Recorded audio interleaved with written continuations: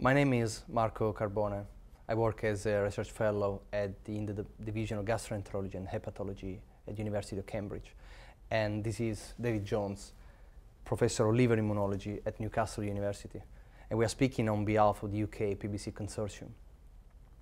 We've been asked by the editor of Gastroenterology to discuss our paper entitled Sex and Age are Determinants of Clinical Phenotype of Primary Biliary Cirrhosis and response to ursodeoxycholic acid. This paper describes the clinical phenotype of primary biliary cirrhosis in a large cohort including more than 2,000 patients with PBC recruited throughout the United Kingdom. I will briefly explain the background, the methodology, and the aims of the study. And Professor Jones will summarize the major findings of the study. In these studies, we wanted to address two major issues. First of all, previous studies have described a small series of patients with PBC and they've been performed in centers where with a particular interest in those phenotypes. These studies were therefore prone to selection bias. Secondly, it is well recognized that URSO response represent a major predictor of long-term prognosis but we don't really know what predictors response. And this is very important in order to early identify patients with a high risk of poor prognosis. We therefore performed an observational study using the UK PBC cohort in order to characterize the clinical phenotype in primary biliary cirrhosis and to identify clinical variables that predict URSO response. The UK PBC Cohort is a national cohort of patients recruited throughout the United Kingdom to support large-scale studies of PBC, including high-throughput genetic studies. This cohort includes 2,400 patients with PBC for whom data on use of URSO, response to URSO, liver transplant status, symptoms, and quality of life were available. In addition, we have also analyzed a subgroup of 1,300 patients with PBC for whom extensive baseline data, including liver function test, platelet counts, ultrasound scan, were available. Major symptoms in PBC, such as fatigue and pruritus, were measured using the PBC-40, which is a validated PBC-specific quality of life measure Pruritus was also assessed using the visual analog scale. Daytime somnolence was measured using the Epworth sleepiness scale. Autonomic dysfunction was assessed using the orthostatic grading scale.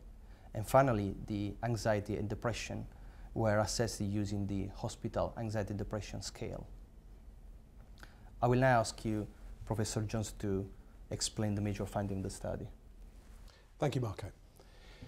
The demographics of the study population reflected those that are well described in PBC. The mean age of presentation of the patients was 55, 90% um, were female, uh, and 80% of the patients who'd been treated with ursodeoxycholic acid for a minimum of a year responded to therapy. We feel that the study has four important conclusions and one important implication. The first conclusion is that the ursodeoxycholic acid response criteria have been externally validated in this study in a large and independent population.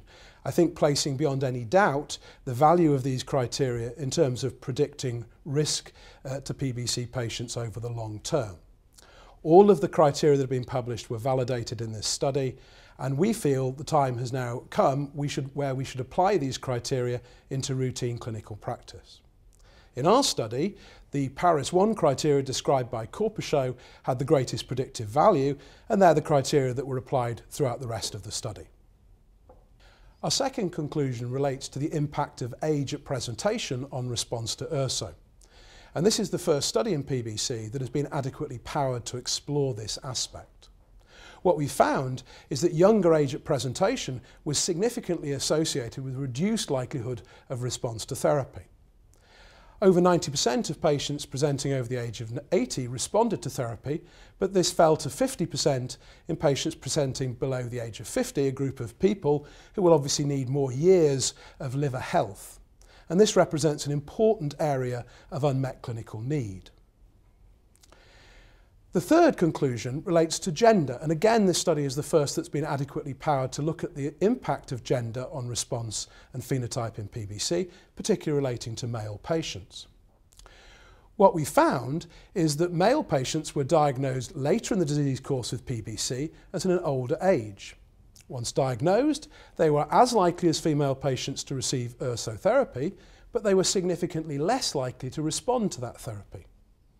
Importantly, in multivariate analysis, splenomegaly, which is a marker of progression of liver disease, and male gender, were independently associated with reduced response to URSO, indicating that it isn't just that men had more advanced disease at presentation. So male patients overall in, are a higher risk group of patients. Phenotypically, there were also differences. Male patients were less likely to be fatigued and less likely to have pruritus in PBC than matched female patients. And in terms of the fatigue, interestingly, male patients had a lower level of autonomic symptoms than female patients, and their lower level of dysautonomia was in correlation with their lower level of fatigue severity, further linking autonomic symptoms with fatigue. The fourth conclusion relates to symptoms and URSO response. What we found is that symptoms were only loosely associated with URSO response. There was an association between pruritus severity and non-response to URSO linked through the alkaline phosphatase criteria, which is perhaps understandable. Fatigue was not associated with URSO response. It was, however, associated with length of time since the diagnosis of PBC, suggesting that chronicity of disease is an important factor in terms of fatigue in patients. In terms of the implications of this study, we feel it has validated URSO response criteria and we feel that these should now move to routine clinical practice. And we also feel that importantly, this identification of younger patients as being a particularly high risk group identifies a group of people where we need to focus in terms of research and particularly focus in terms of novel therapeutics if we're to improve outcomes overall in this important disease.